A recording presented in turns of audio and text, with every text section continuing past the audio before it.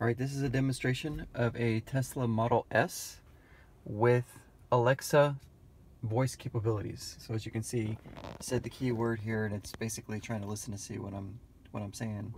Um, I put it in the little cubbyhole holders here so that the seven different mics can pick up pretty much anything, which it can in the cabin.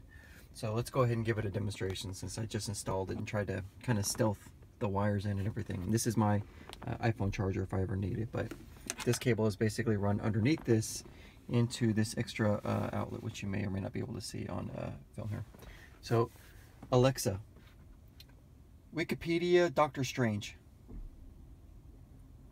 Dr. Stephen Vincent Strange, also known as Doctor Strange, is a fictional superhero So, as you can hear, it's by Marvel Comics. Doing it through the audio system of the car, which is kind of neat. Um, Alexa, what is the football score for the Los Angeles Rams right now? Currently, the Rams are trailing the Seahawks 24 to 3 with 9:11 left in the fourth quarter. Hmm, that's not good. Um, Alexa, what is the weather in Houston, Texas right now? Currently, in Houston, Texas, it's 50 degrees with clear skies. Tonight, you can look for cloudy skies moving in and out with So- a low of 48 degrees. Alexa, play Spotify. So, Alexa, softer.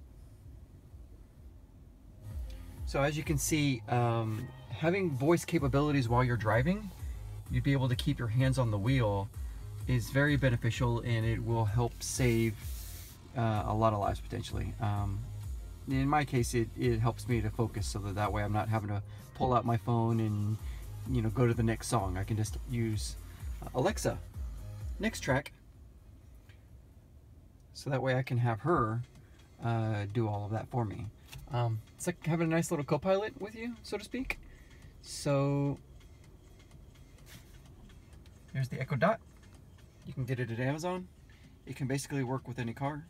You just have to be able to pair it to a mobile hotspot. In this case, I'm using T-Mobile with a cheap data plan. So uh, until next time, to be continued.